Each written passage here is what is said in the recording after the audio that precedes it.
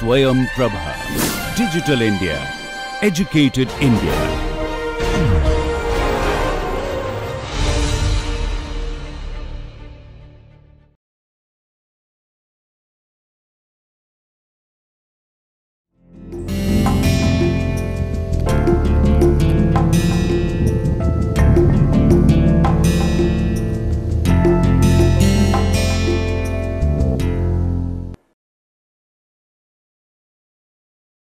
Namaste.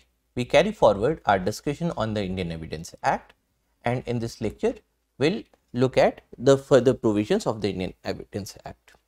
So part 3 of the Indian Evidence Act deals with production and effect of evidence. How do you produce evidence in the court and what is the effect of producing the evidence in the court? Now in this context chapter 7 deals with of the burden of proof.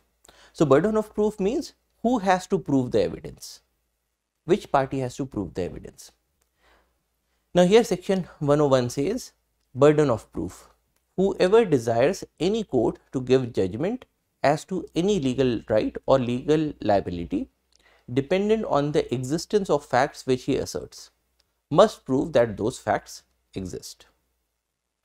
When a person is bound to prove the existence of any fact, it is said that the burden of proof lies on that person. So, it is defining the burden of proof. When a person is bound to prove the existence of any fact, it is said that the burden of proof lies on that person. So, this is the definition of the burden of proof. So, if you have the burden of proof, it is your foundation to prove the existence of any particular fact. And who gets the burden of proof?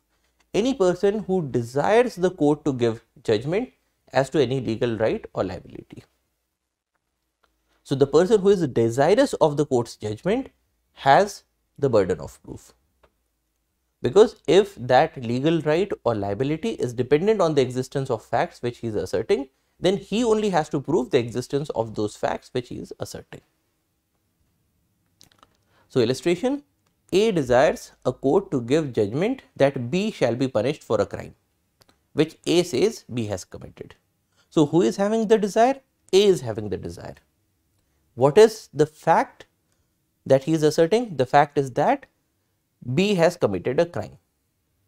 So, A desires and this is the fact. So, A has to prove this. So, A must prove that B has committed the crime. Then A desires a court to give a judgment that he is entitled to certain land in the possession of B by reason of fact which he asserts and which B denies to be true. So, in this case as well A has the desire and the fact is that uh, he has a entitlement to the land. So, in this case as well because A is desiring, so A must prove the fact that he is entitled to the land. A must prove the existence of those facts. So, this is the burden of proof. Now, 102 says on whom the burden of proof lies. The burden of proof in a suit or proceeding lies on that person who would fail if no evidence at all were given on either side. That is, if nothing was done by the court, if the court did not intervene, if the court did not give any judgment, then the matter would be of the benefit to some person, one of the two parties. So, the party who will not be getting this benefit has the burden of proof. So, if in a um, uh, in a case for example, if the property is with B and B and A is asserting that this property should belong to me because of such and such facts. Now, if the court did not intervene, B already has the property. So, A requires the intervention of the court and if there was no intervention, B would benefit. So, in this case, A will have the burden of proof. This is what this section is saying. The burden of proof in a suit or proceeding lies on that person who would fail if no evidence at all were given on either side. For example, A sues B for land of which B is in possession and which as A asserts was left to A by the will of C, B's father. So, if no evidence were given on either side, B would be entitled to retain his position. So, in this case, the status quo without any intervention of the court is that B would remain entitled to his possession. And so the burden of proof will go to the other party which is A in this case.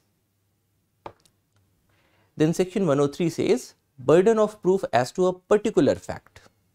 The burden of proof as to any particular fact lies on that person who wishes the court to believe in its existence, unless it is provided by any law that the proof of that fact shall lie on any particular person.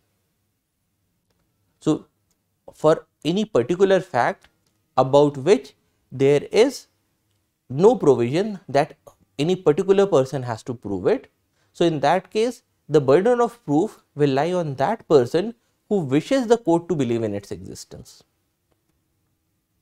So, in this case as well the person who wants or who has the desire that the court should believe in this particular fact has the burden of proof.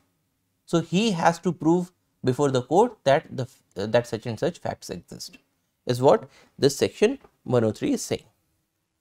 For example, A prosecutes B for theft and wishes the court to believe that B admitted the theft of C. So, in this case A is doing prosecution and A is saying that B has done a theft to C. So, in this case this is a fact and A wants that court should believe in this fact and so A must prove the admission. A must prove this fact that B admitted the theft. Then section 104 says burden of proving fact to be proved to make evidence admissible. The burden of proof or the burden of proving any fact necessary to be proved in order to enable any person to give evidence of any other fact is on the person who wishes to give such evidence. Meaning that in certain cases you need to prove a fact before making an evidence admissible. For example, A wishes to prove a dying declaration by B. Now, uh, in the law, dying declaration is a specific kind of declaration and if A is trying to prove the dying declaration of B, then a dying declaration can only be admissible if B is actually dead. So, if A is wishing to prove a dying declaration, he must also prove that B has died. Similarly, A wishes to prove by secondary evidence that contents of a lost document. Now, we saw before that in the case of documents, the court will go with primary evidence and not the secondary evidence. The court will only admit secondary evidence if the document is either lost or is uh, beyond the reach of the court or the person who has the document cannot be found and so on. Now, in this case, a is wishing to prove the contents of a lost document and in the case of lost document the court may admit secondary evidence.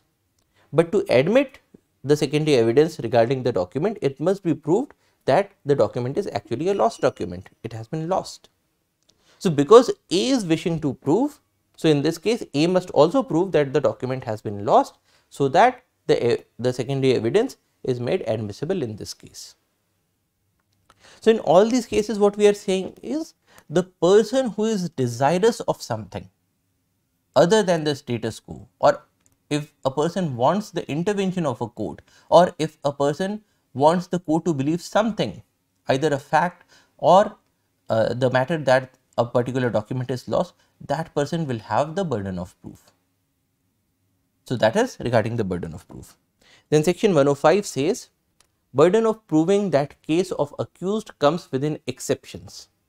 We saw that in the case of uh, the IPC, we have certain general exceptions. Now, if the accused says that his case comes under one of these general exceptions, then that person only will have to prove. For example, A accused of murder alleges that by reason of unsoundness of mind, he did not know the nature of the act. So, unsoundness of mind is one of the general exceptions in the IPC. Now, A wants the court to believe that his case is that of uh, unsoundness of mind and so the burden of proof will lie on A. Similarly, A accused of murder alleges that by grave and sudden provocation, he was deprived of the power of self-control. So, here as well the burden of proof will be on A, he will have to prove that he was actually deprived of the power of self-control. Then section 106 says burden of proving fact especially within knowledge. When any fact is especially within the knowledge of any person, the burden of proving that fact is upon him. Because if there is certain fact that is within the knowledge of a particular person and nobody else, so in that case that person only will have to prove it. For example, A is charged with travelling on a, on a railway without a ticket. The burden of proving that he had a ticket is on him because it is a fact that is especially within the knowledge of A. He has been charged that he is travelling without ticket. Now, if he had the ticket, then where has he kept it is only within the knowledge of A. And so, the burden of proving that he had a ticket is on A only. So, if a fact is within is especially within the knowledge of a particular person, then that person only will have to prove it. Burden of proving death of a person known to have been alive within 30 years. When the question is whether a man is alive or dead and it is shown that he was alive within 30 years, the burden of proving that he is dead is on the person who affirms it. So, here as well the person who wants the court to believe that this person has died will have to prove that the person is dead if the person has been known to be alive within 30 years. Similarly, in the case of a person who has not been heard of for 7 years. So, burden of proving that person is alive who has not been heard of for 7 years. So, for the past 7 years nobody knows where this person is. He has not been heard of. So, in that case, the person who is saying that this person is alive will have to prove it. Provided that when the question is whether a man is alive or dead and it is proved that he has not been heard of for 7 years by those who would naturally have heard of him if he had been alive, the burden of proving that he is alive is shifted to the person who affirms it. So, here as well the person who wants the court to believe that this person is alive will have to prove that he is alive. Burden of proof as to relationship in case of partners, landlord and tenant, principal and agent. When the question is whether persons are partners, landlord and tenant or principal and agent and it has been shown that they have been acting as such the burden of proving that they do not stand or have ceased to stand to each other in those relationships respectively is on the person who affirms it. So, here as well the status quo is that everybody believes that these people are partners or they are landlord and tenant or they are principal and agent basically a master servant relationship. So, if they have been be behaving in this way and everybody thinks or any rational person thinks that they are in this relationship. And if somebody is saying that no, we are not in this relationship anymore. So, the person who states that or the person who affirms that will have to prove that they are no, no longer in this relationship. So, here as well if you want to change the state the status quo the person who is desirous of changing the status quo or wanting the court to believe something will have to prove the fact burden of proof as to ownership. When the question is whether any person is owner of anything of which he is shown to be in possession. The burden of proving that he is not the owner is on the person who affirms that he is not the owner. So, when a person is owning something, he is in the possession of something. Somebody is, is in possession of a house. And if another person says that this person is not the owner. So, here as well if the court did not intervene what would happen? The person would continue to remain in the possession of that house. So, that is the status quo if nothing was done. So, the person who wants to change the status quo or the person who wants to believe, uh, who wants to make the court believe that this person is not in uh, not an owner of this house will have to prove it. So, the person who affirms that the person who is in possession of something is not the owner will have to prove it. Then proof of good faith in transactions where one party is in relation of active confidence. So, when we talk about good faith in transactions, where there is a question as to the good faith of a transaction between parties, one of whom stands to the other in a position of active confidence. The burden of proving the good faith of the transaction is on the party who is in a position of active confidence.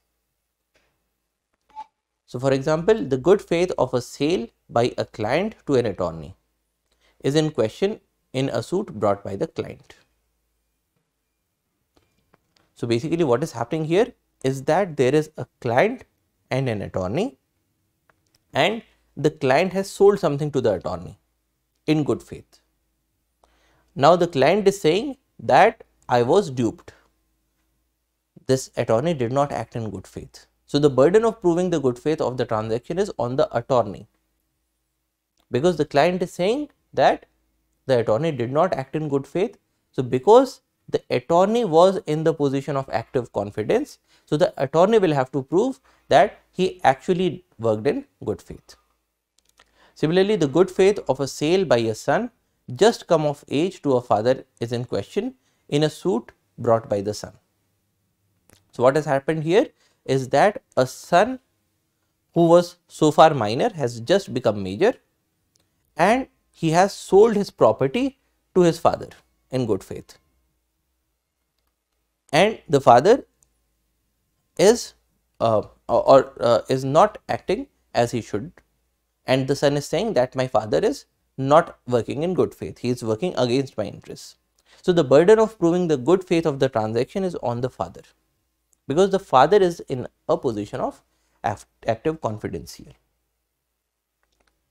then presumption as to certain offenses section 111a where a person is accused of having committed any offense specified in subsection 2. So, what are these offenses? It is these offenses. An offense under section 121, 121A, 122 or 123 of the IPC, criminal conspiracy or attempt to commit or abetment of an offense under section 122 or 123 of the IPC. So, we have seen before in the case of IPC that these are very grave offenses.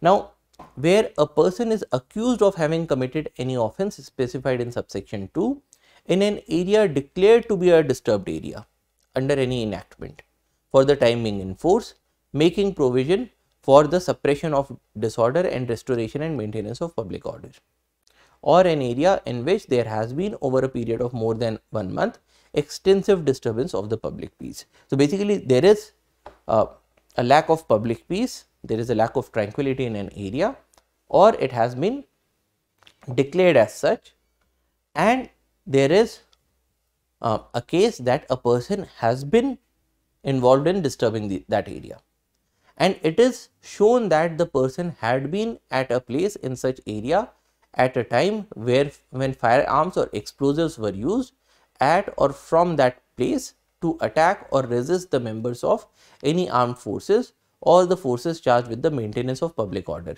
acting in the discharge of their duties. So, what is happening here is that in a disturbed area there was a person and he was present at a time when firearms or explosives were used against the authorities.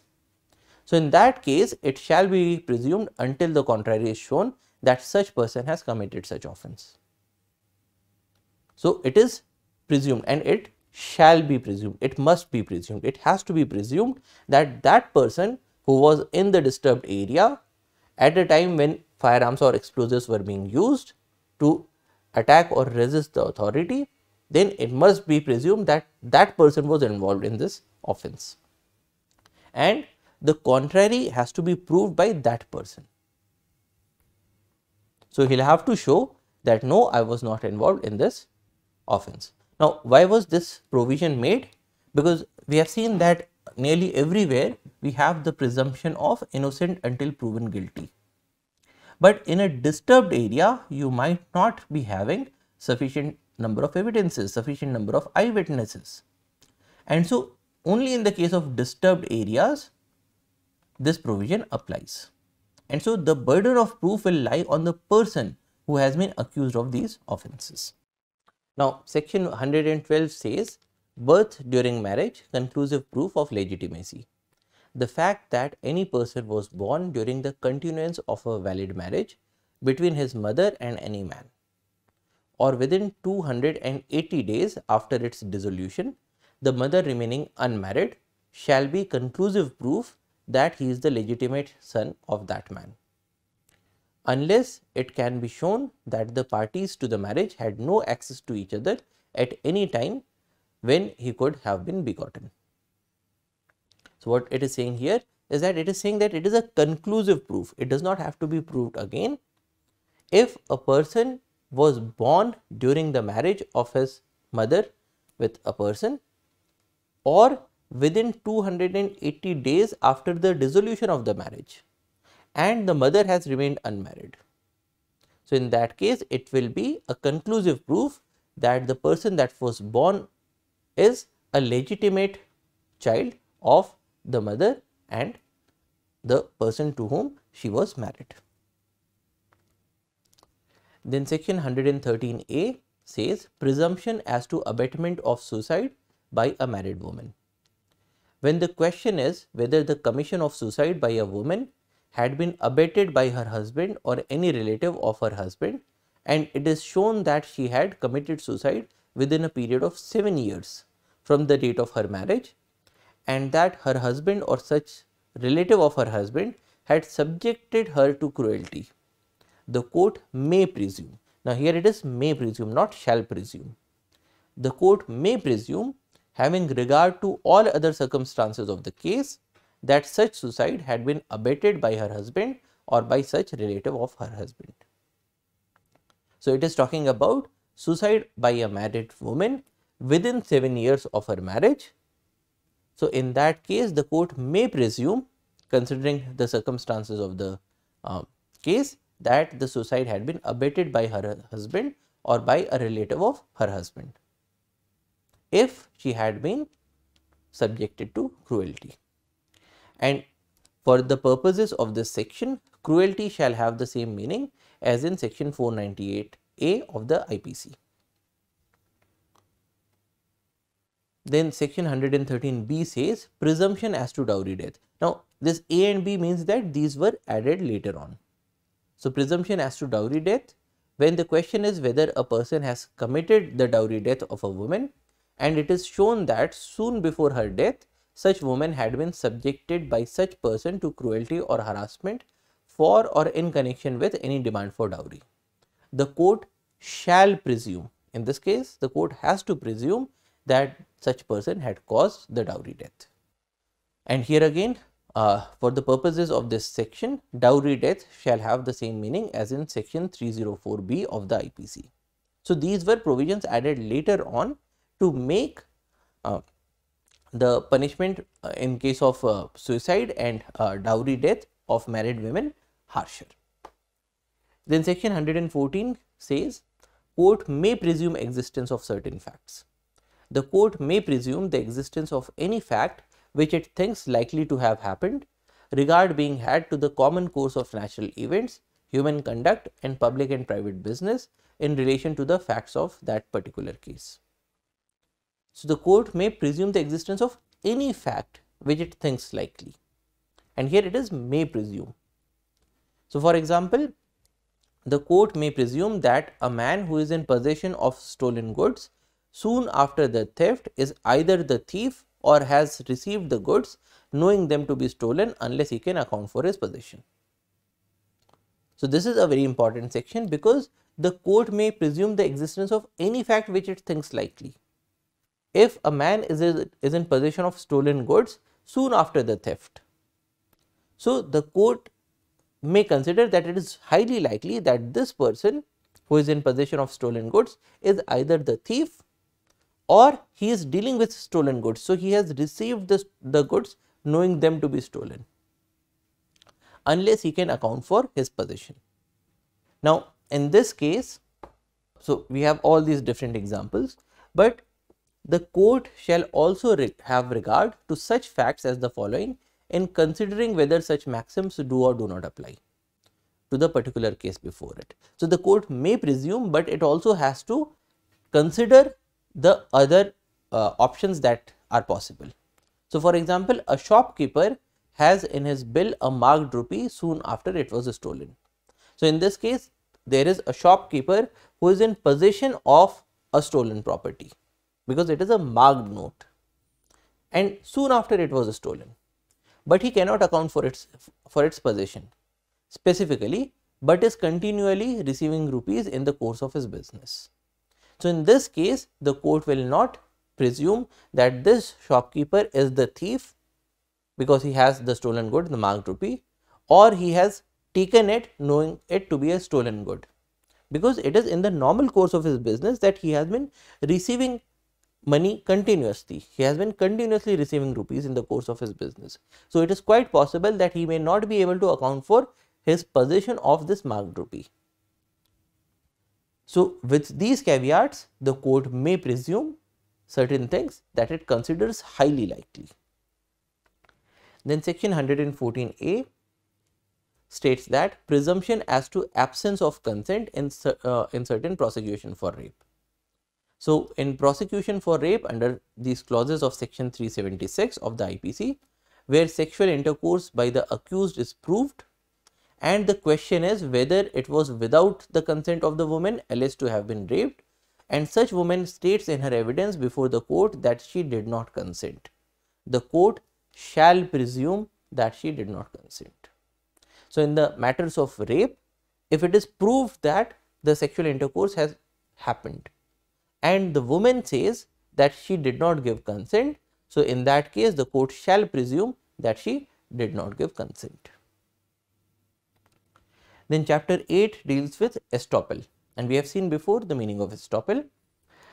So, when one person has by his declaration act or omission, the person has either declared something or he has acted in certain way or through omission he has intentionally caused.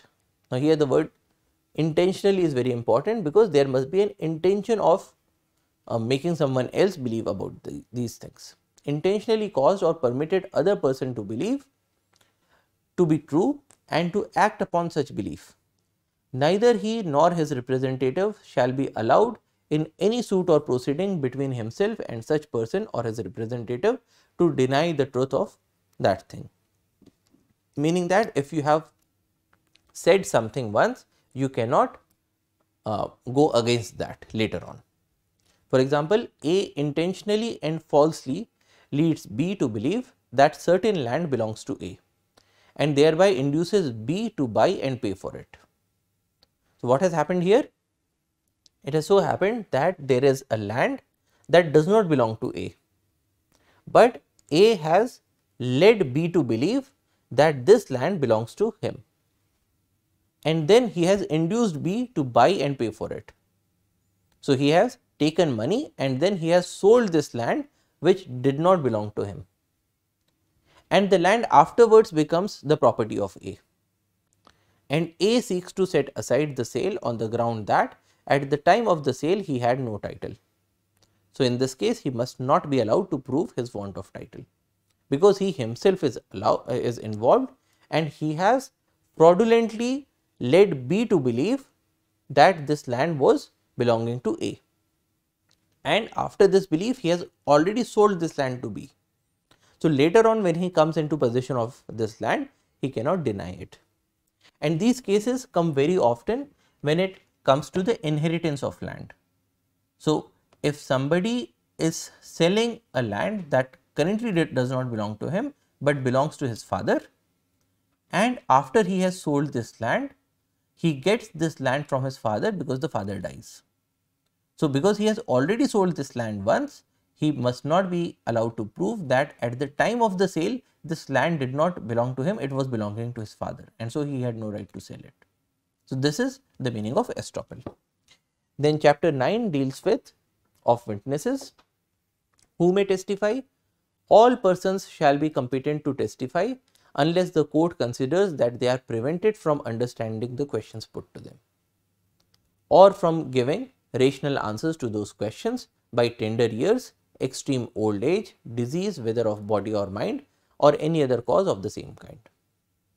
So, basically any person who can understand questions and can provide rational answers to those questions is competent to testify.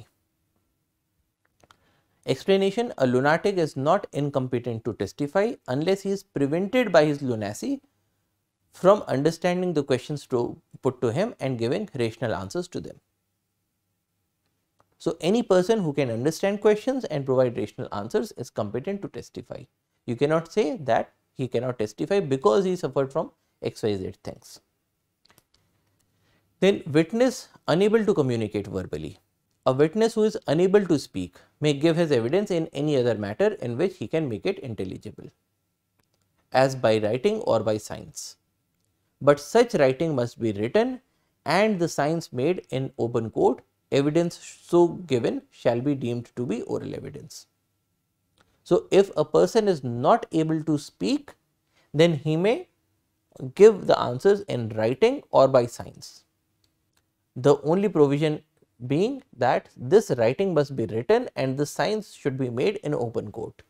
So, that everybody can see that it is this person only who has written or has made these signs and what has he written and what has he uh, made signs about provided that if the witness is unable to communicate verbally, the court shall take the assistance of an interpreter or a special educator in recording the statement and such a statement shall be videographed. So, even if a person is unable to speak, then too the person can give oral evidence. Then parties to civil suit and their wives or husbands. Husband or wife of person under criminal trial. In all civil proceedings, the parties to the suit and the husband or wife of any party to the suit shall be competent witnesses. So, if there is a civil proceeding, the parties to the suit are competent witnesses and their husbands and wives are also competent witnesses.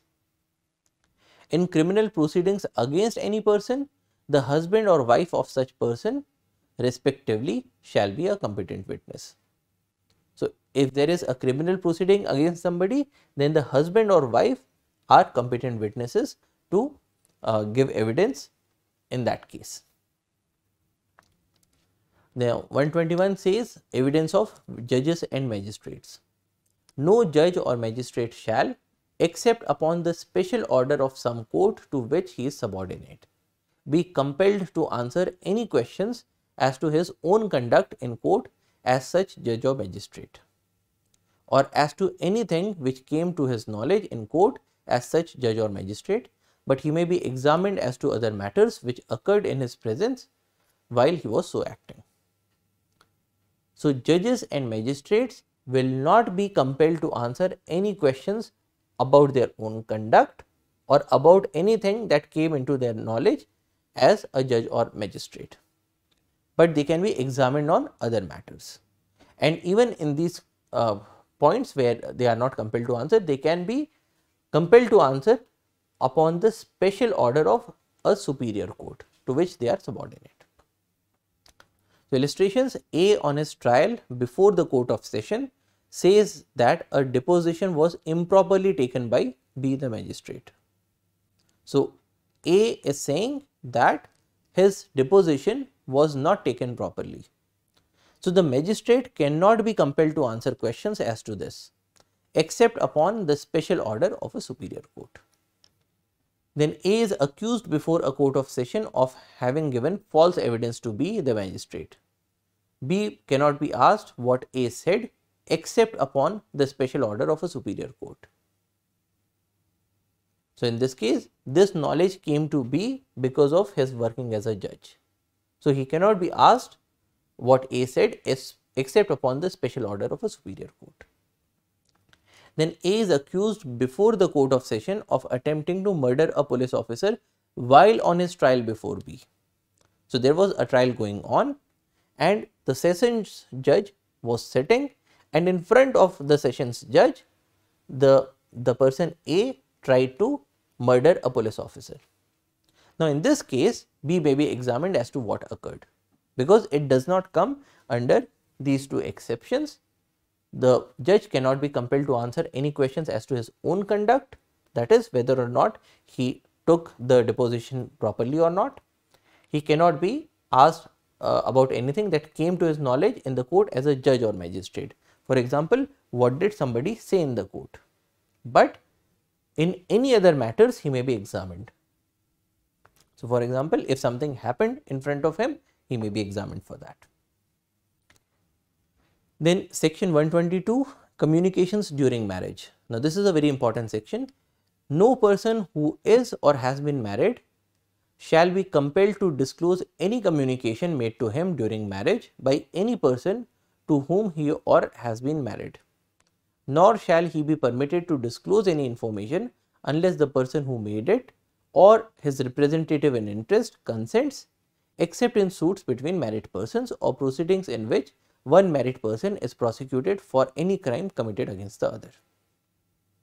Meaning that the law considers that marriage is a very special relationship, it is a very sacred relationship and the husband or wife should not be compelled to disclose any communication made to uh, them by each other or to uh, disclose any such communication unless the other party consents. So, if the husband has told wife something, the wife will not be made um, to, uh, to tell the court what the husband said, nor will she be permitted to disclose so, even if she wants to, she will not be permitted to disclose that information till the husband consents.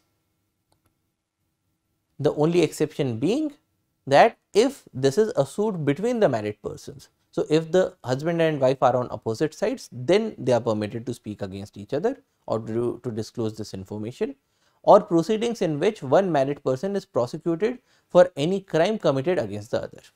So, only in those cases are communications during marriage allowed to be disclosed otherwise it is not even allowed to be disclosed. Then evidence as to affairs of a state, no one shall be permitted to give any evidence derived from unpublished official records relating to any affairs of the state, except with the permission of the officer at the head of the department concerned, who shall give or withhold such permission as he thinks fit. So, when we are talking about the affairs of the state or the government, then any unpublished official records can only be uh, given evidence of with the permission of the head of the department concerned, not otherwise. Official communications, no public officer shall be compelled to disclose communications made to him in official confidence when he considers that the public interest would suffer by the disclosure. So, in a large number of cases there are protections given to uh, people. Now, information as to commission of offences, no magistrate or police officer shall be compelled to say whence that is from where he got any information as to the commission of any offence and no revenue officer shall be compelled to say whence he got any information as to the commission of any offence against the public revenue. Meaning that you are not compelled to disclose your, uh, your uh, sources. So, no magistrate or police officer and no revenue officer will be compelled to disclose where he got the information from, who is the source of the information. Then section 126 says professional communications. No barrister, attorney, pleader or vakil shall at any time be permitted unless with his client's express consent to disclose any communication made to him in the course and for the purpose of his employment as such barrister, pleader attorney or vakil. So, there is an attorney client communication and this has to be uh, uh, saved from disclosure. So, he is not permitted without the client's express consent to disclose what went on between both of them, what they said or to state the contents or condition of any document with which he has become acquainted in the course and for the purpose of his professional employment. So, if the client has shown any document to his vakil, then the content or the condition of that document also is not permitted to be disclosed without the client's consent or to disclose any advice given by him to his client in the course and for the purpose of his employment. So, this is a privileged information provided that nothing in this section shall protect from disclosure any such communication made in the furtherance of any illegal purpose. So, if the client is saying that I will be doing such illegal things, then that can be disclosed. And any fact observed by any barrister, pleader, attorney or vakil in the course of his employment as such, showing that any crime or fraud has been committed since the commencement of his employment. So, after he was employed, if some crime or fraud has been committed, then the person is uh, allowed to disclose that information. It is immaterial whether the attention of such barrister, pleader, attorney or vakil was or was not directed to such fact by or on behalf of his client. And the obligation stated in this section continues after the employment has ceased.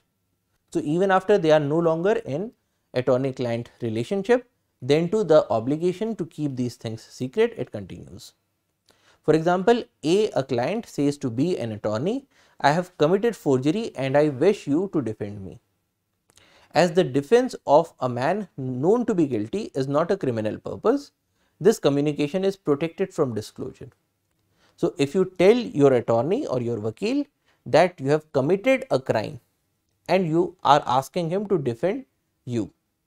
So, because defense of a man known to be guilty is not a criminal purpose, so this communication is protected from disclosure. The attorney cannot tell it to the court that you have uh, committed the crime and you have told him that. It is a privileged information. A, a client says to B an attorney, I wish to obtain possession of property by use of a forced deed on which I request you to sue. Now, this communication being made in furtherance of a, of a criminal purpose is not protected from disclosure because what has happened here is that this is a criminal purpose that has come to the knowledge of the attorney and this crime has not yet been committed. So, it is not protected from disclosure. And A being charged with embezzlement retains B an attorney to defend him. In the course of the proceedings, B observes that an entry has been made in A's account book charging A with the sum said to have been embezzled which entry was not in the book at the commencement of his employment. So, here it has come to the knowledge of the attorney that something has been changed in the document after he got employed. So, this fact being a fact observed by B in the course of his employment showing that a fraud has been committed since the commencement of the proceedings is not protected from disclosure. So, he can disclose this to the court. Then 127 says section 126 to apply to interpreters etc. So, all the interpreters, clerks and servants of the attorney, barrister, pleader or vakil, they also have to follow all the provisions given in the previous section. So, anything that comes to their knowledge is also privileged information, they are not allowed to disclose it.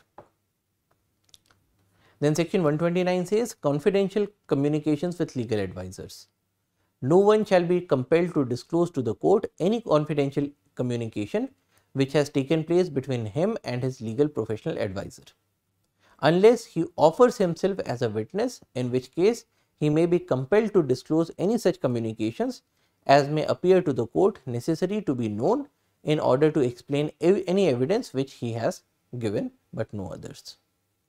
So, any confidential communication with the legal advisor is not to be disclosed unless the person has become a witness and he requires to tell these for uh, for uh, making the court understand about any evidence which he has given, but not for any other matters.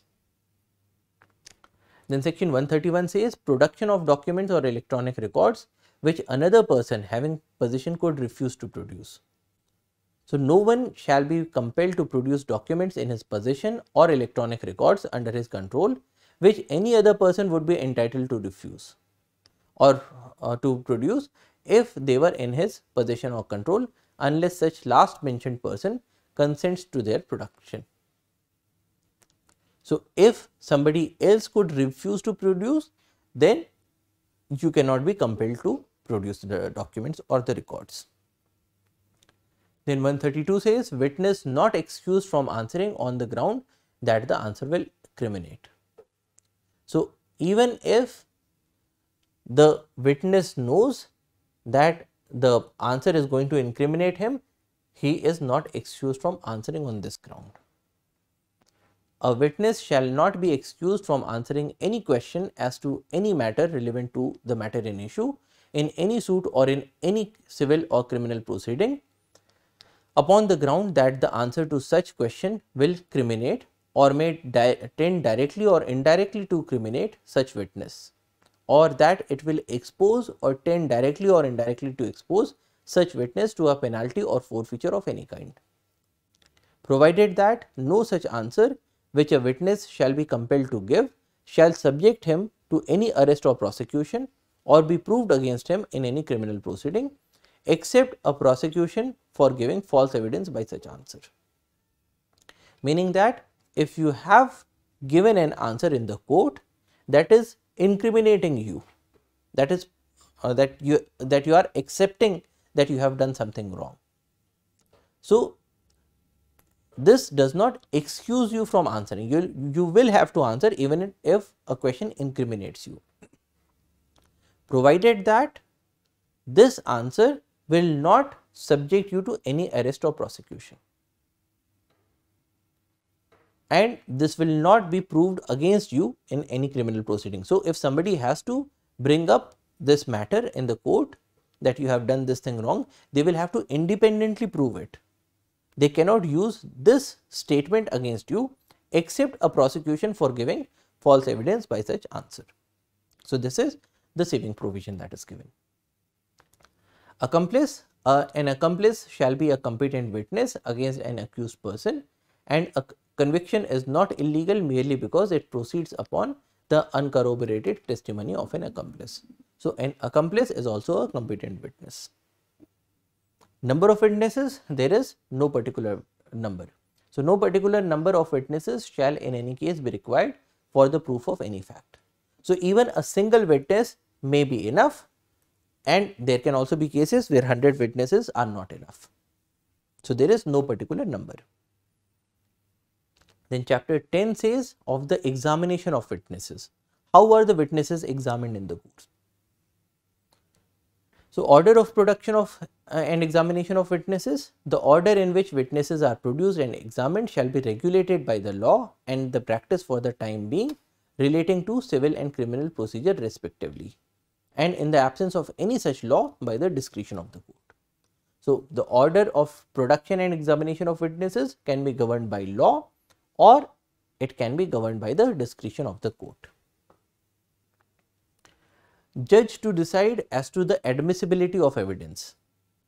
When either party proposes to give evidence of any fact, the judge may ask the party proposing to give evidence in what matter the alleged fact if proved will be relevant and the judge shall admit the evidence if he thinks that the fact if proved would be relevant and not otherwise.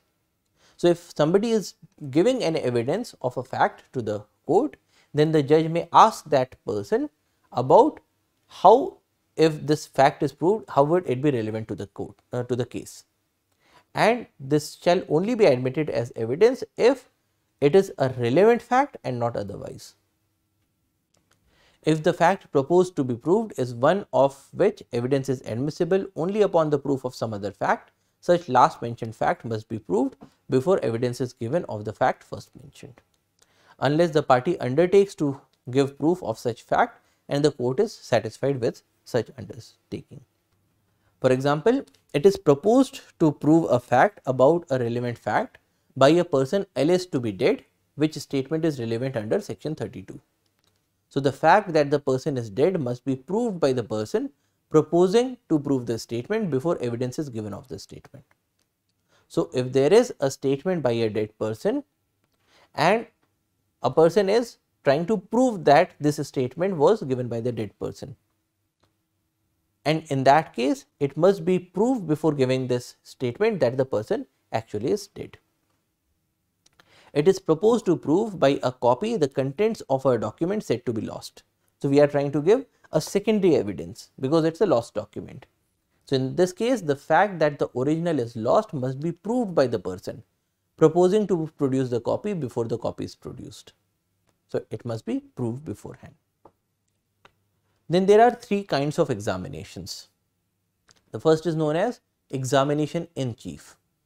The examination of witness by the party who calls him shall be called his examination in chief. So, there are two parties to the case and suppose the first party has brought in a witness. So, the party who has brought the witness is allowed to examine the witness, ask him questions and this is known as the examination in chief. Once the party who has brought the witness has asked the questions, now it will be the turn of the other party, which will be known as the cross examination of the witness. And based on the answers given in the cross examination, the first party can then again ask questions to, to the witness, which is known as the re-examination of the witness. So, these are three different kinds of examinations. The first one is examination of the witness by the party who calls him, which is known as the examination in chief. Then cross examination is done by the adverse party and re-examination is done by uh, after the cross examination by the party who called the person. Now, order of examination we have seen that first of all is the examination in chief, then cross examination, then re-examination. Now, cross examination of person called to produce a document a person summoned to produce a document does not become a witness by the mere fact that he produces it. So, if somebody has brought a document, it does not automatically mean that that person becomes a witness. He cannot be cross examined unless and until he is called as a witness. Now, witnesses to character, witnesses to character may be cross examined and re examined. Then we have leading questions. What are leading questions? any question suggesting the answer which the person putting it wishes or expects to receive is called a leading question. So, for example, a question that is asking that isn't it true that this person murdered this person? So, you have already given the answer in the question. You are already leading the witness towards a certain answer. And this sort of a question is known as a leading question, where you are leading the witness to a particular answer. So, any question suggesting the answer which the person putting it wishes to expect, wishes or expects to receive is called a leading question. Now, leading questions must not if objected to by the adverse party be asked in an examination in chief or in a re-examination except with the permission of the court. So, the party that has brought the witness is not allowed to ask leading questions if it is objected to by the adverse party except with the permission of the court. So, only the court can allow this otherwise the other party can object. However, leading questions may be asked in cross examination because the party who has brought the witness may have had previous discussions and so they are not allowed to ask leading questions, but the adverse party can ask those questions. Evidence as to matters in writing. Any witness may be asked while under examination whether any contract, grant or other disposition of property as to which he is giving evidence was not contained in a document and if he says that it was or if he is about to make any statement as to the contents of any document which in the opinion of the court ought to be produced, the adverse party may object to such evidence being given until such document is produced or until facts have been proved which entitle the party uh, who called the witness to give secondary evidence to it. So, we have seen before that in the case of documents the court is going to go with the primary evidence. So, in this case if you have called a witness and if you are asking him about the document orally then the other party can object to it. Then cross examination as to previous statements in writing a witness may be cross-examined as to previous statements made by him in writing or reduced to, into writing and relevant to the matters in question without such writing being shown to him or being proved but if it is intended to contradict him by the writing, his attention must, before the writing can be proved, be called to those parts of it which are used for the purpose of contradicting him. So, this is uh, for matters that have been reduced to writing. Then we have questions lawful in cross examination. There are, are different kinds of questions that are permitted to be asked to test the veracity, to discover who he is, what is his position in life, to shake his credit and so on. Now, court to decide when questions shall be asked and when witness shall be compelled to answer. So, it is a prerogative of the court to decide when questions will be asked and when witnesses will be compelled to answer. Questions not to be asked without reasonable grounds. So, you cannot go about asking anything. There has to be a reasonable ground. So, for example, a barrister is instructed by an attorney or vakil that an important witness is a dacoit. Now, this is a reasonable ground for asking the witness whether he is a dacoit. So, this is a reasonable ground, but you cannot ask anybody, are you a dacoit? Then procedure of court in case of question being asked without reasonable grounds. If the court is of opinion that any such question was asked without reasonable grounds, it may, if it was asked by any barrister, pleader, vakil or attorney, report the circumstances of the case to the High Court or other authority to which such barrister, pleader, vakil or attorney is subject in the exercise of his profession. Indecent and scandalous questions, the court may forbid these questions if they are indecent and scandalous. Questions intended to insult or annoy, the court shall forbid. So, in this case, the court has to forbid. Question by party to his own witness, the court may, in its discretion, permit the person who calls a witness to put any questions to him which might be put in cross examination by the adverse party. Nothing in this section shall disentitle the person so permitted under subsection 1 to rely on any part of the evidence of such witness. Then impeaching the credit of witness, the credit of a witness may be impeached. So, you might prove in the court that this witness does not have sufficient credit and so his statements should not be taken on the face value. Questions tending to corroborate evidence of relevant fact are admissible. So, for example, A an accomplice gives an account of robbery in which he took part. So, A was also a part of this robbery operation. He describes various incidents unconnected with the robbery which occurred on his way to and from the place where it was committed. So, it was not directly connected, it was unconnected facts. For example, I saw this person coming or the lights of this building were on or off and th things like that which are not directly connected with the robbery. Now, independent evidence of these facts may be given in order to corroborate his evidence as to the robbery itself. So, this is permitted. Now, former statements of witnesses may be proved to corroborate later testimony of the same fact. Refreshing memory.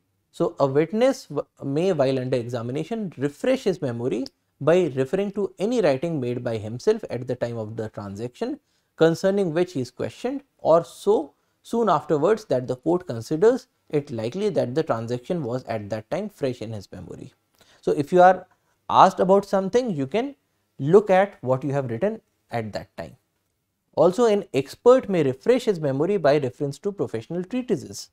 So, when the expert is giving his opinion he may uh, look at the books once again to refresh his memory. Testimony to facts stated in document mentioned in uh, section 159.